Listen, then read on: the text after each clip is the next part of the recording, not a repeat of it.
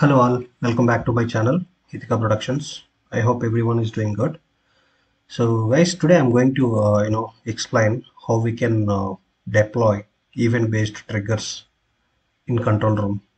So there are a few videos uh, on uh, you know uh, triggers uh, in my channel. So especially those those we are seeing you know in the creator license like let's say uh, we have implemented a trigger and we have ran through it uh, through the creator license. So today uh, what I'm going to do is I'm going to deploy this uh, you know trigger into the control room and run the bot in unattended mode. Let's see how we can make the control room to monitor those events and run the bots. Okay. So guys, if you are uh, you know watching my videos first time and visiting my channel first time, uh, do subscribe and hit bell icon uh, and allow for uh, all notifications so that whenever I upload new videos, you will get the notifications. So uh, as part of this, uh, I'm going to show you like uh, you know simple email trigger based bot, and I will show you how how will show you like you know how we can do the check-in and then how to enable the event trigger and how the bot runner is going to monitor. And there are a few uh, control room based settings to be monitor you know keep in mind for that particular device let's uh, move ahead. As i said uh, this is i just created a simple but let me show you clear uh, quickly. So this is uh, you know email based uh, trigger. I just uh, you know monitoring one of the email box which is the gmail. And then you know whenever there is an email comes right i'm just responding back to the respective email. Whenever this bot is triggered uh, it is going to take the sender email and it is going to respond to them saying this is what. Hello this is the confirmation email from a360 regards regarding the email triggers. And uh, subject will be trigger confirmation from a360 and whatever the subject is going to send by sender the same subject will be included within the brace. Okay? Okay uh, let's move on. So this is the task simple task. Let me do the check-in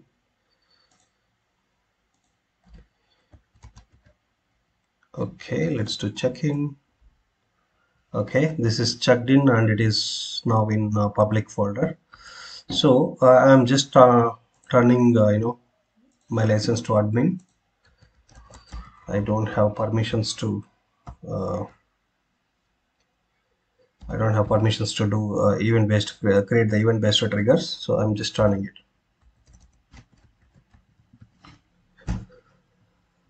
Okay so now I just logged into admin and then uh, see this is the main place uh, you can enable the event based triggers. So this option is only available or visible to you when you have the permissions okay? So this is the one uh, we are going to enable the triggers. So let's let's click on this and add this. So here is the whatever you know the trigger based threads those will be listed here. You can select whatever you wish to do. Okay then next and it will ask uh, associated this bot with uh, what? Either user based or role based. I will just select a role based. Okay add event trigger. Okay now event trigger successfully created. You can see this right? Now let's uh, let me quickly show you the configuration which I told you right under the device let's go here so guys uh, this is my device okay this is my device so this is the device where I have installed my control room which means this is the control room server RDP machine so I am just using the same machine for the runner. So I'm using the same machine for runner also.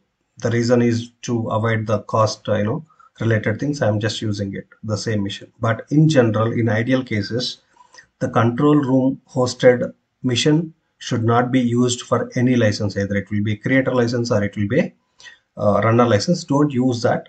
Uh, let let's uh, let it be in a unique mission so that it will have different more different you know process to be monitor or whatever it has to be done right let it be uh, freed up the mission don't use the same mission for a creator or runner just for my you know cost avoiding i'm just using the same mission same control room hosted rdp mission as a runner mission okay? So uh, let me quickly show you the settings which I told. So auto login I just enabled. See this is the control room server. That is where you cannot see anywhere the log off option. So I just said just do the log the session. If it is existed session just do log the session. That's it right? Then screen resolution. If you have if you are using uh, you know UI related automation this is going to be a matter. If it is a backend related then it doesn't matter. So deployment it's a single user and RDP mission I just enabled. And this is a normal settings uh, auto login timeout. If you want 120 seconds or 180 seconds whatever it is you can do it. Minimum is 30 and maximum is 180 okay? So this is where uh, I'm done. So even I just created an event also and uh, I just shown the you know different configuration parameters which device must have. Let's uh, drop an email. This is my mailbox. Bot is going to monitor on this mailbox. Whenever there is a new email comes it is going to be triggered. Let's try to uh, you know. So the email id which i'm going to use is appear demo user double nine double nine at gmail.com okay this is the email id so let's drop it from my another email. I would say trigger test one. I'm just sending without body I'm just sending it. So let's see the email comes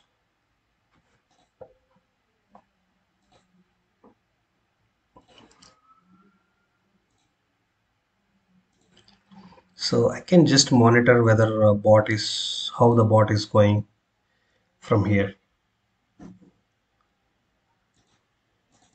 So not happened anything. Let's see if the email arrived. Yes it arrived. So there is 15 seconds uh, you know interval. So every 15 seconds the bot is trying to look for the events if there are any it is going to run okay. Let's see.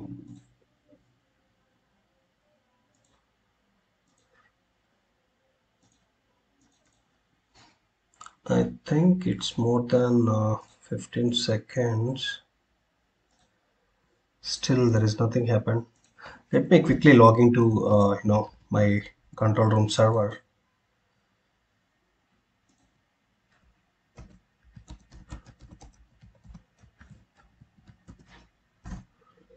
and see why this has not happened.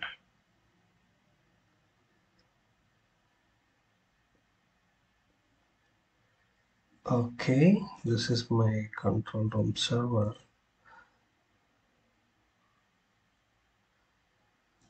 This is connected and up and running. Let me do one thing. Let me quickly uh, stop and uh, you know restart my agent see usually when you guys uh, do start and restart uh, maybe you might use a restart option. Sometimes what happen if the you know backend things were not quickly stopped then it is going to be a trouble. It's going to be a problem. So better you can stop it and uh, give some 15 30 seconds delay and then start it. So that it uh, helps. Not sure why okay. This is starting now. Now you can see trigger configuration successfully started. I'll just minimize this and try to try to see if uh, we trigger it again. Is that going to work or not?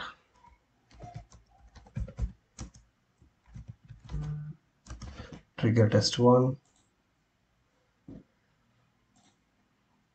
let's see if uh, this has come or not.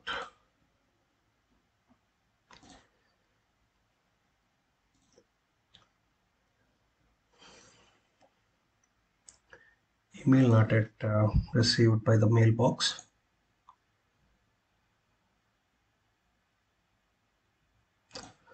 Let's see if there is something.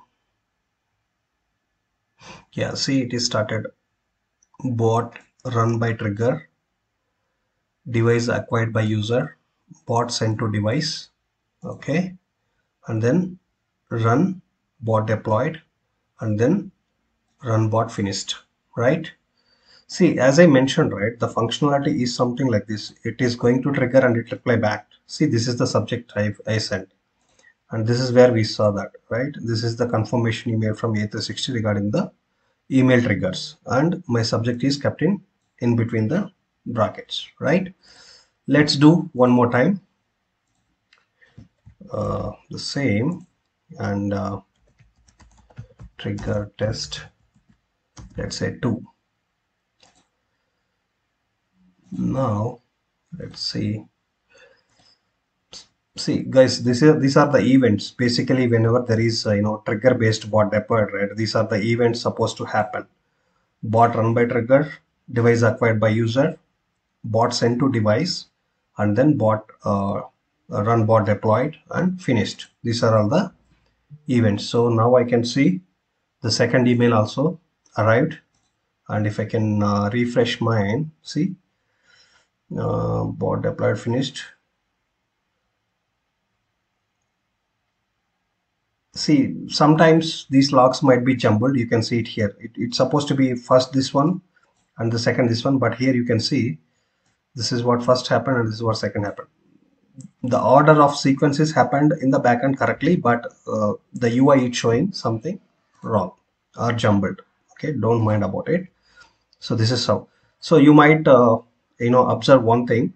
When I came out from my RDP mission I just minimized it right but if you can see now it is going to be locked. The reason behind is let me close this. You might see you might uh, ask a question.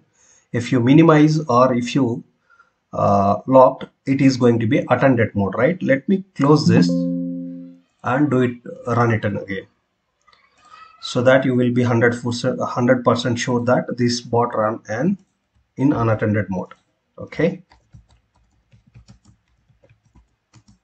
Trigger test 3 so this is the third email.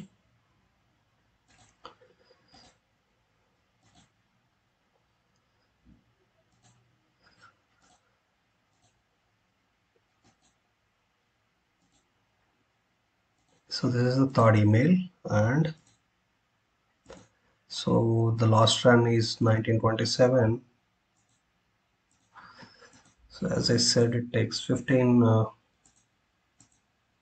yeah 15 seconds. Now you can see the sequences. Bot run by trigger.